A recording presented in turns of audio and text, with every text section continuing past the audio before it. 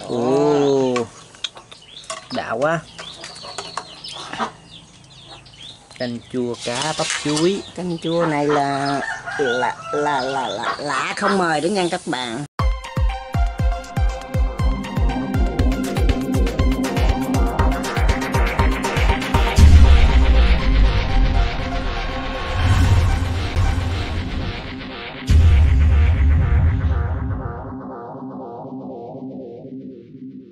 đây các bạn. Đây là con cá chê. Hồi sáng mình kéo được đó các bạn. Đây, bạn bạn thấy to à? quá trời to luôn, cái đầu bự lắm. Bây giờ mình sẽ làm con cá chê này là nấu canh chua với bắp chuối nha các bạn. Nấu theo cái kiểu phong cách của miền tây nha. Cá chê nấu canh chua bắp chuối nha các bạn. Đây chào mình đi làm con cá. Đây các bạn, bây giờ mình đi hái bắp chuối để mình nấu món canh chua cá chê theo kiểu miền tây nha các bạn. Đâu bắp chuối đâu ba? Đâu? À, con tưởng đâu bên đây con chạy qua anh đây. Đó, gốc gạo đắng á. ngay đấy hả? Đắng Ồ, đây. Đâu có thôi, gốc đây không có.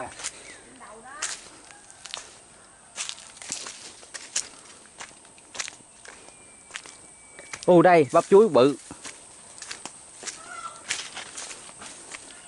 Ờ, ờ, ờ đây các bạn. Rồi mình chạy. Đây, bắp chuối này nè các bạn. Đây là bắp chuối sim. Nghe ba mình nói là nấu canh chua ăn bắp chuối này rất là ngon. Hôm nay bà nội chỗ tài nấu. Em ông nội lại hái đi ông nội Cái thịt trắng lắm, chua, chuối ông nội hái đi, hái đừng cho nó rớt dập uổng.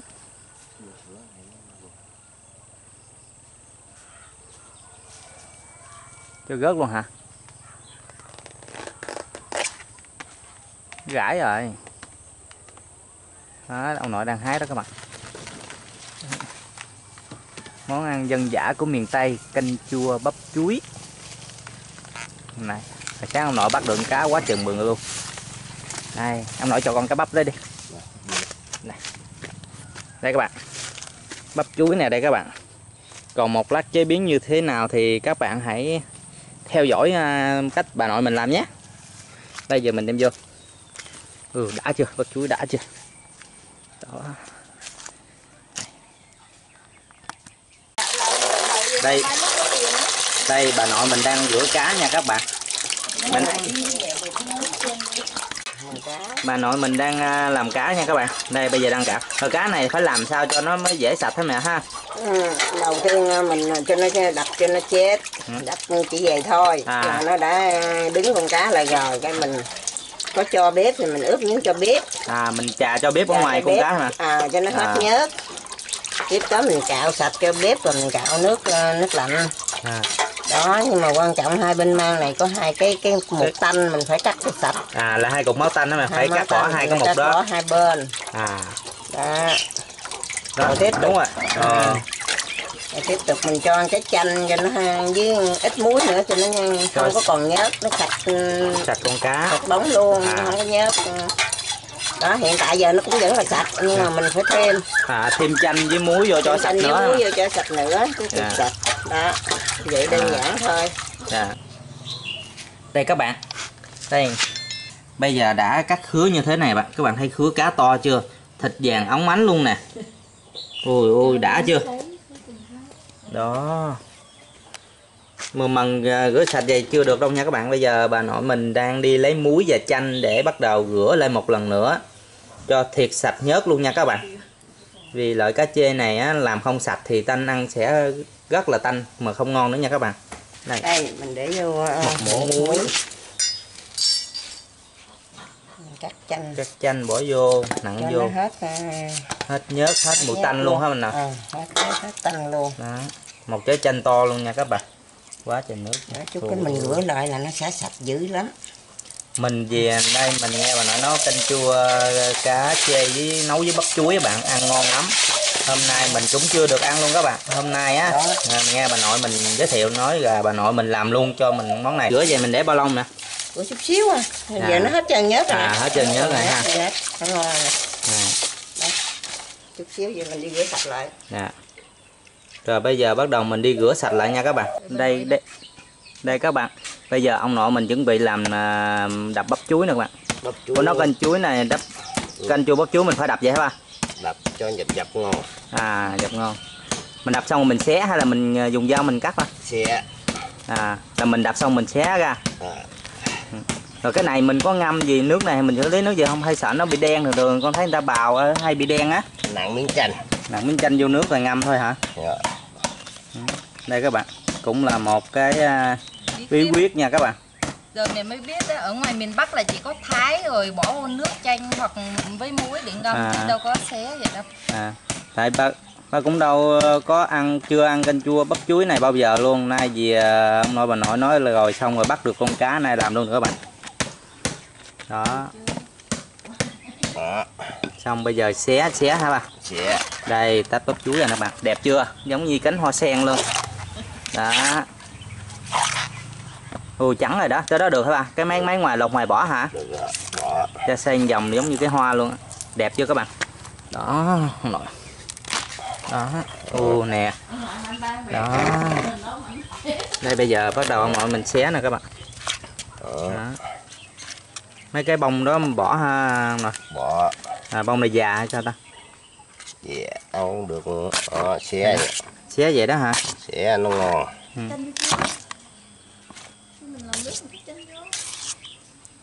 bác chưa lấy dao. Đó dao đó.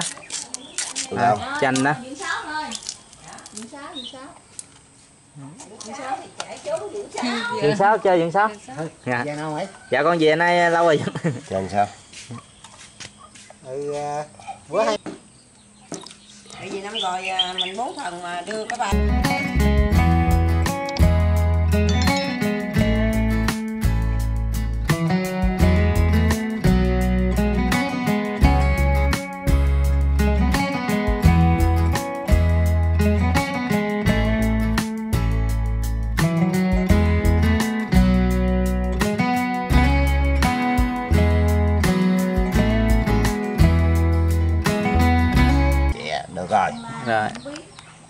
các bạn bây giờ mình ngâm khoảng một xíu nữa là mình rửa cho chuối mình đừng đen nha các bạn.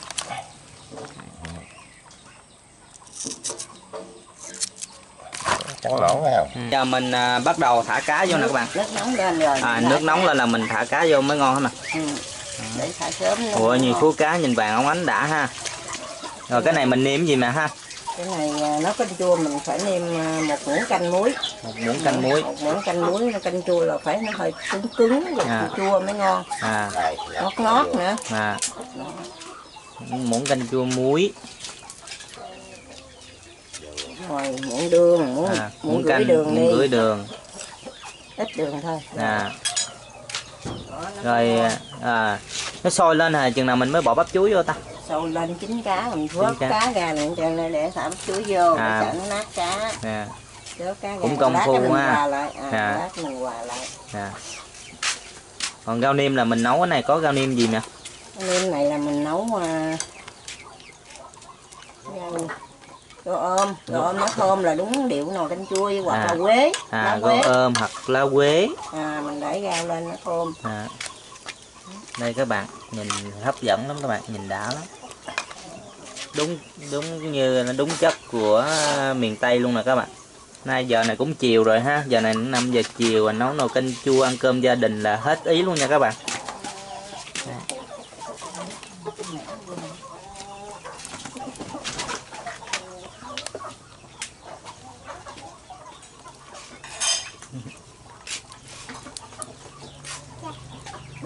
Nước đang sôi rồi nè các bạn. Nước đang sôi rồi nè.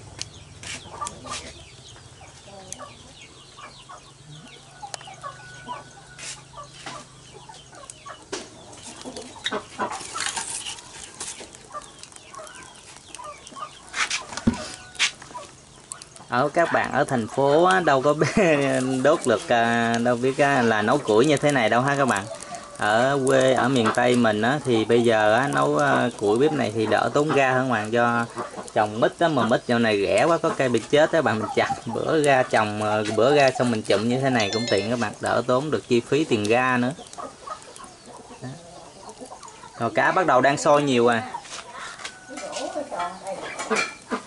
đó nó ừ, các bạn thấy sôi đã chưa? Rồi canh chua của mình bây giờ bắt đầu đã sôi lên rồi. Nấu mẻ mà nếu bạn mấy các bạn không có mẻ thì các bạn nấu bằng me cũng được. Nó không. Vô đây nấu à, cái này mình nấu với à, mẻ ha mà? Cái này mình nấu với mẻ mà nếu mà các bạn mình không có mẻ thì trong nhà thì mình nấu me cũng được. À. Nấu me cũng ngon. Nếu có mẻ thì nấu mẻ mà Nấu không có mẻ. mẻ thì nấu me nhưng mà thường nấu cái canh chua mẻ này là ngon hơn Canh me chua mẻ là với bắp chuối là nó đúng sắc hơn À. đúng điệu hơn. dạ. Nó đúng hơn là đó. Dạ. Đây nè khoảng chừng à, nửa chén à, mẻ.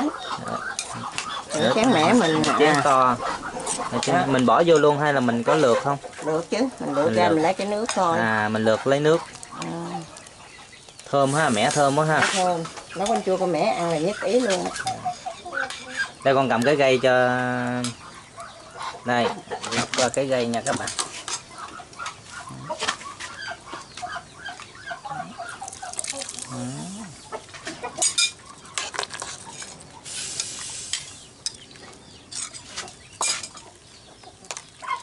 Ờ, bỏ mẻ vô bắt đầu nước thấy đục đục lên nè ha.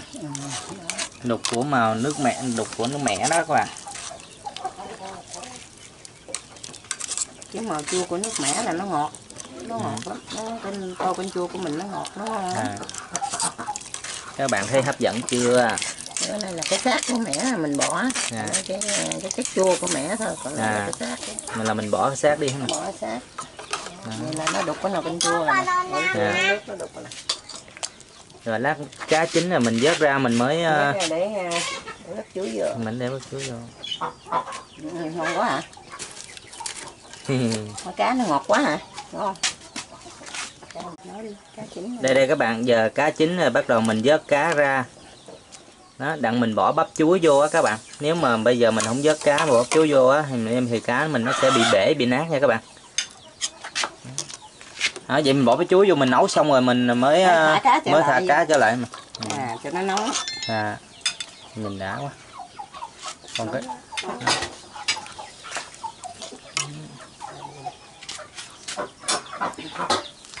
đây.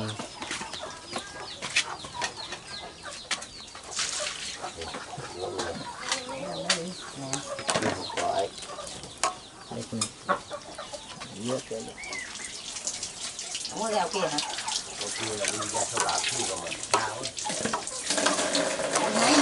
Quế con quế còn ăn lá quế nào không? Ý rồi rồi quế à, ăn ăn qua ăn nữa quế. Đây bây giờ mình cũng bắt đầu thả bắp chuối vô nè các bạn đó. này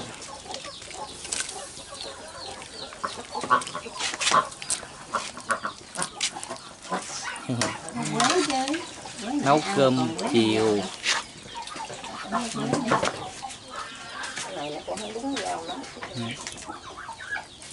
thường thường nêm này là rau ôm với ờ, ừ, Rau ôm hoặc rau quế. quá không chuẩn bị trước mình để cho sôi lên các bạn. Đây các bạn. Ô đã chưa? Trời ơi, cá này các bạn nhìn thấy ngon không các bạn? Ô đã quá. Ô rất là đã luôn. Và nào mình mới vừa thả cá vô rồi nè các bạn. Xong nó chín ngon rồi đó. Chín ngon rồi ha ừ. mà khi mình nấu canh chua mà cho nó ngon khi nó chín tới là mình phải cho ít nước mắm á cho nó thơm mùi nước mắm cho nó À. ngon. Rồi đó vậy là vừa ăn ngon luôn là phải thêm gần chín tới mình nhớ ra là phải cho thêm ờ, nước mắm vô. Nước mắm vô. À. thơm mùi nước mắm nó mới ngon cái nồi canh chua. À, không quên ớt nha. Ớt rau là phải có. Phải có ớt với rau niêm nữa ha mà? Ừ. Đó, đã chưa các bạn? Đó. Lửa táp vô mặt mình các bạn ơi. Mình qua đây đó qua đây là ngon luôn. Ui ui đã chưa nè? Đó. Nóng hổi luôn nè các bạn canh chua này ăn Đây, đã. con cầm chưa? cầm còn nóng lắm Ồ, đã quá. Canh chua cá bắp chuối. canh chua này là là là là, là lạ không mời đó nha các bạn quen mới mời chứ lạ không mời Trời đất ơi. rồi mình cho thêm ít rau vô cho thêm ớt vô canh chua mới đúng điệu Đó. rồi, rồi sao Đây. Ồ, thơm quá u mà nóng quá. Gắn lên, gần tới các bạn rồi, hai tươi ô. u nóng quá, nóng quá. Hên quá các bạn ơi, tới được cái bạn rồi. Đây. Ui ui đã chưa? Đó. Ừ, ừ, hơi khói bay lên này. Đang còn nóng luôn. Mùi thơm của nước mẻ hòa quyện cùng với à, mùi thơm của rau ôm, ngò gai, ra một tô canh chua, rất là ngon. Bữa cơm chiều. Có của cuộc sống miền Tây đây các bạn. Nhìn dân dã nhưng mà thấy ngon lắm nha các bạn. Đó. Nhìn chắc là do không quản nóng á chị qua đây nó khác khác khác không nhưng mà trời nóng quá chắc buổi chiều á. Qua đây rồi các bạn nhìn đã lắm nó đây ở miền Tây mình đó các bạn ba mẹ mình cũng ở quê á hay nấu những món canh chua như thế này đấy các bạn. Ăn vào những bữa cơm chiều thì rất là ngon sum họp gia đình đó. Đây các bạn bây giờ mời các bạn cùng ăn cơm cùng với mình nha. Mình có thể món canh chua này các bạn mình có thể ăn cơm hoặc ăn bún các bạn. Đây mình với ông nội mình ăn cơm chiều. Cho ăn cơm hay ăn bún con lấy cho Ồ, không? Đây. ăn cơm cũng ngon lắm nha các bạn. Đây bà con ngồi cái nào đó cô cô hai lấy cho kìa. Cô hai lấy.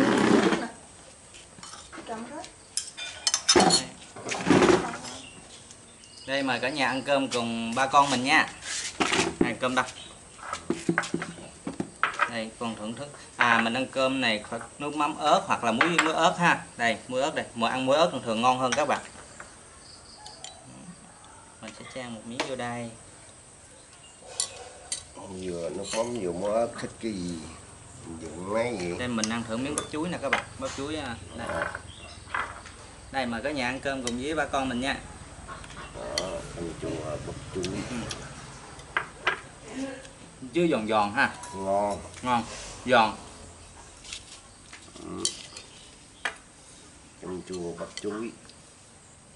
Là nó là ngon nhất. Cái mùi mẻ rất là thơm luôn.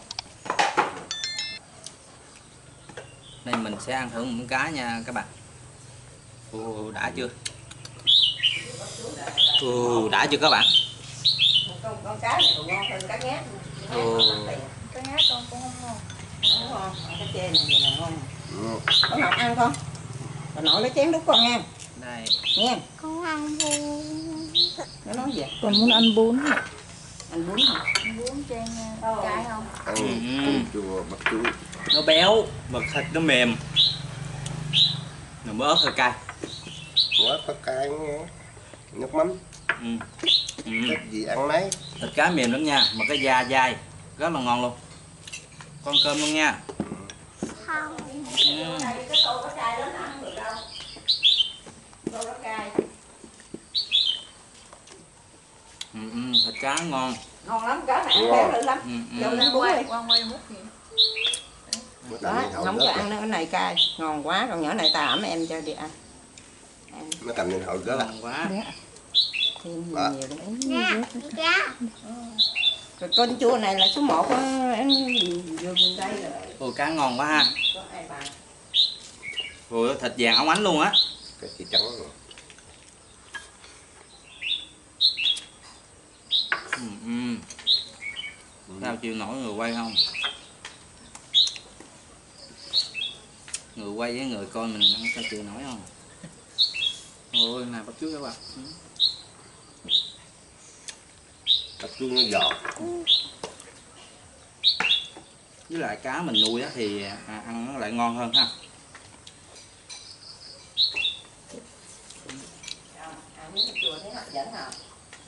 Thật sự rất là ngon luôn lần đầu tiên ăn luôn. Lần đầu tiên mình ăn món canh chua.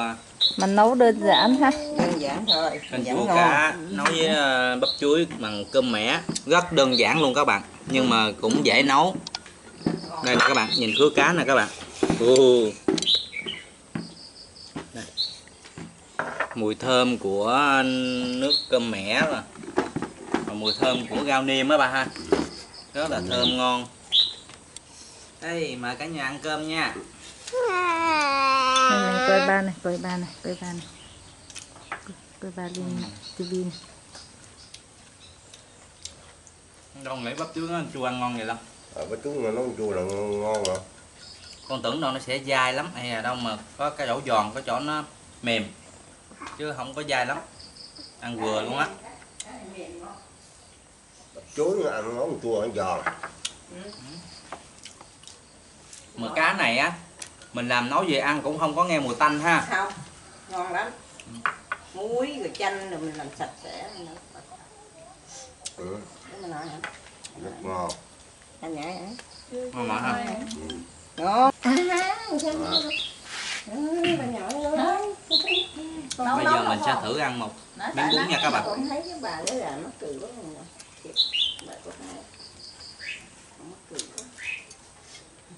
bún chan chua đây nó mắc cười quá bà nhỏ em kìa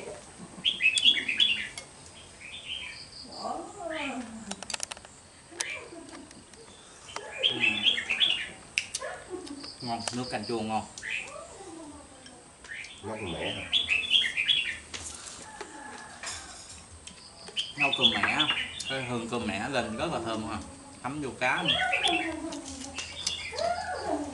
trời ơi thịt này đã chưa? Để mẹ đi nó ghiền đồ bà nội nấu luôn. Ừ, ừ. có cái chén không? Cho nó ăn cơm đi. Ăn Đồng ngon đừng lát múc gì bệnh tốt hơn nữa hả không có chén hả? Ừ. À, vô video của mình xin kết thúc tại đây nha các bạn. À, cũng giờ cơm chiều rồi. À, thôi à, nếu các bạn thấy thích video của mình á, thì hãy cho mình xin một like và một lượt chia sẻ nha các bạn. Hãy nhớ đăng ký kênh và hãy bấm nút chuông để theo dõi những video tiếp theo của cuộc sống miền Tây nha. Xin chào và hẹn gặp lại. Xin chào. Cái này à, xương xương dài ly rượu đế nữa ha. Ngon. Chiều chiều á mà giờ không không chiều tại nãy không lấy cái quay dòng nấu chua này quay cái uống rượu đế nó chết nó có chết ngắm vừa quay ngon. Mà con nói gì chứ con đâu có uống được đâu. Bắt ừ. được thiệt. Ừ, ừ, đã. Hồi nãy tính uh, vừa quay cái có rượu đế cái tại tao muốn tượng trưng tao muốn nhiều cái chuối ăn tôi muốn cái từ những gắp bắp chuối lên cho vậy mình ăn nữa ông nội đứng vậy đi đứng cho bác chú đi.